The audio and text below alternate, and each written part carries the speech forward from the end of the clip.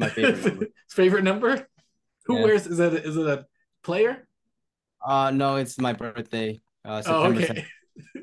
But Philip Rivers wears 17, wore 17. Davante Adams wears 17.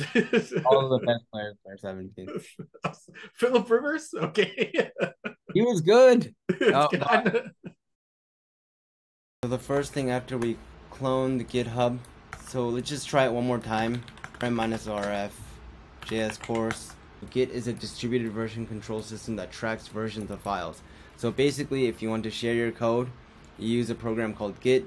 It's very uh, de facto. Everyone uses it, and basically, people can work on the same code base, but branch out and then work on their own pace. So we'll go back to the GitHub repository. We'll type in the HTTPS link here. So you press on the green button and then HTTPS and copy this link.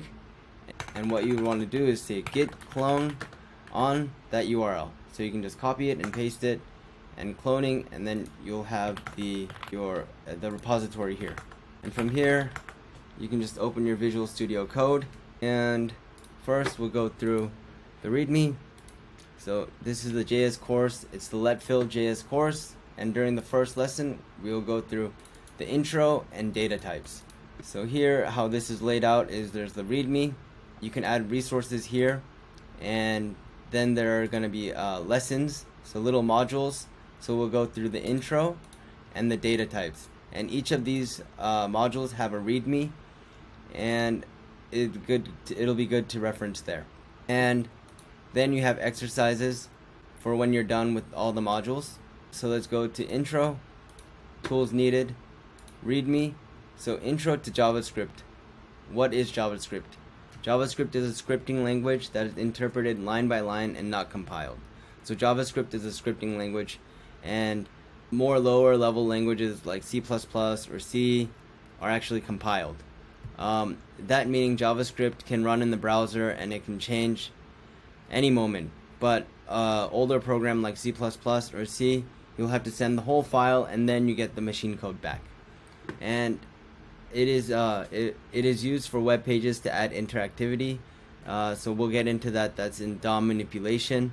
It is also used in non-browser environments in the server with Node.js and others. So where is JavaScript used? JavaScript is used in client side on the browser to manipulate and add interactivity to websites. JavaScript is used in the server and to connect to databases and serve data. JavaScript is also used in other non-browser environments to execute commands in the server. So that meaning there are other uh, use cases for JavaScript, not just the server or to serve HTTP requests, but you can actually use it as a uh, scripting language or to run things like bots and all this kind of fun stuff.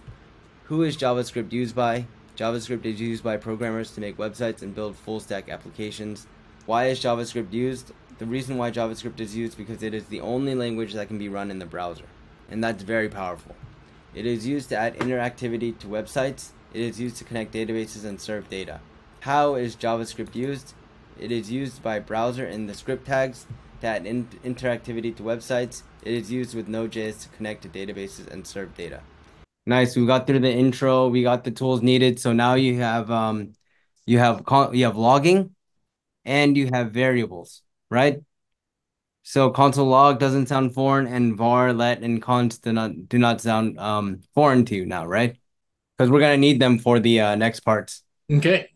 All right. So data types and objects is our um. We'll go back to the README, and we said, uh, in order, we'll go through intro and then data types. So we'll go to the folder data types, and we'll go to the README. There are primitives in data. So there's um primitives meaning like the smallest pieces of data. You can call them atoms, kind of Mhm. like uh, strings. So these are like uh, do you know like um primary colors like yellow, red, and blue? yeah, yeah. Primary, secondary, tertiary. Exactly. So Mhm. when you're mixing like red and blue, uh, you can kind of like make other pieces of like uh data. Mhm. So that's how I kind of like to think about it. So you have primitives like string, numbers, and booleans. Honestly, programming is just playing around with these three data types that we talked about from the intro. Mhm. that's why I wanted to talk about an intro and then segue into here. So we have string numbers, strings, numbers, and booleans. And then for a later tutorial, we have other primitives called like big int. So that's just like a referencing a big number. So you cannot mix like a regular number and a big number. And null, undefined, and symbol. And honestly, I don't even use big int or symbol that much. So null and undefined are like the um the ones that we'll learn that we'll um get into later. But today all we're gonna think about is string, number, and boolean. Is that okay? Yeah, yeah, that works. All right, so non-primitives, like things that uh, you put together, are probably like array, arrays, and objects. Arrays being lists, and objects being key value pairs. That might not make sense now, but it will in about five minutes. and we also have operators. So you need to be able to manipulate the data.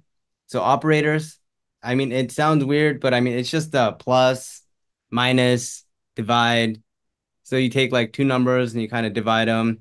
And those, uh, you just, um, operators are what uh, make expressions or, and we'll talk about that in a second, but basically they're just like comparisons, like, uh, does one equal one? Does one plus one equal 2 mm-hmm. Just, um, it's just a fancy word for, um, you know, plus and minus and increment and decrement. And we'll talk about that. Um, we'll get into it in a second. But one that we'll uh, use today is type of. A type of logs like a variable or a data, a piece of data. And it tells you if it's a string, a number, or a boolean. So type of is something we're going to use today. We're going to use type of, we're going to use variables, and we're going to use um, all the data types we need. Expressions are a combination of values variables, and operators, which computes to a value. So um, just an expression would be like one plus one. That's an expression. So that's um, a combination of values, variables, and operators, which computes to a value. So one plus one, that's using a variable, um, an operator, and another variable, and then that computes to a value, right? It sounds um like these uh computes and it's like programming terms, but mm-hmm. it's just it's very simple. Expressions can be used in many places in JavaScript, including as arguments to functions, which we'll get in today, uh, in control in control structures, which we'll get in today, and in assignments and in return statements. So an example of an expression is three plus four. That's an expression. And then we can even add on more equals seven. And three plus four, does three plus four equal seven? Yes, so this would be a true. It would compute into true. Three plus four, right? Mm-hmm. This would equal seven. But now I'm I made a uh, comparison and I'm asking, does three plus four equal seven? Ah, uh, I see. Okay, okay, I got it. That's that's all I was saying. Like, um, you could just keep on going on and on, though, right? Three plus mm-hmm. four, um, does it equal seven? Seven times seven, false, right? And this mm-hmm. is this is a whole expression. So there are three main data types we will work with: uh, string, number, and boolean. So string being uh like a string like hello world, it's just with quotes. Number zero, one, two, three, four, five, six, seven, eight, nine and mm-hmm. Boolean being a true or false. So fun fact, in JavaScript, when it interprets, zero can also be false and one can be true. And that'll make more sense in our if-else lesson that we're going to go through right after. Okay. Okay. Uh, type of is a great tool to find out what data type you are working with. It comes in handy in if-else statements that we will learn later. So type of is, uh, right, if you run like console.log type of one, it'll give you it'll say number. So if you say console.log type of hello, mm-hmm. what, what, do you expect to come out? Uh, the string part, right? Just that it is a string. Exactly. All right. So if I run node data types, it says string, right? Mm-hmm. All right. And then maybe, like I said, we'll follow the um, practices that I said earlier. Type of. What do you expect to come out here? Uh, number right? Type of seventeen. So should be My number. favorite, my favorite number. favorite number. Who Yeah. wears? Is it? Is it a player? Uh no, it's my birthday. Uh Oh, okay. 7th. But Philip Rivers wears 17, wore 17, Davante Adams wears 17. All of the best players wear 17. Philip Rivers. Okay. He was good. Oh, kinda- The sidearm throw? Yes. No, no, I got to give it for Philip Rivers just because uh, he would be trash talking whether they were losing or winning. He was always so. I gotta, you know, gotta give him the respect for that. Always being I think he has- competitive. 10 kids too. Yeah, have you heard this? No, I didn't. I did not know that. But uh actually I don't like you know, uh, I'm a Raiders fan. So Mhm. we were all getting beat by the Chargers at that time. Yeah, LT. He's too. He's too good at that time. Exactly. Shawne Merriman? Oh my Uh, goodness. All right, all right, all right. So, so here, if we console log type of and then true, what do you expect to uh, uh, Boolean, right? Exactly? So I know this is like redundant and it's very easy, but it's just uh kind of hammering into your brain. I think Oh yeah, it's good. It's good. so. Type of is very powerful. I'm just saying because, like, let's just say uh, you are in like a for loop or something or an if else, and you say, hey, if this variable is a string, I want to handle it this way. If it's Mhm. a number, I want to handle it this way, and it'll be it'll be handy uh later on. I think. Okay.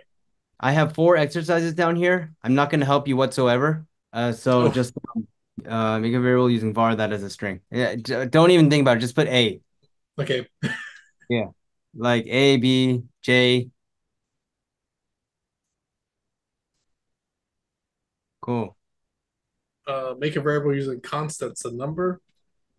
Const b equals forty-two. Oh, 45 is good. 42, the answer to life, no? make a variable let that's a boolean. Oh Jesus. Uh, let c. But if it's a boolean, like, it's got to be one or the other, right? Exactly. I don't know. I don't know about that. Reassign above variable into the opposite.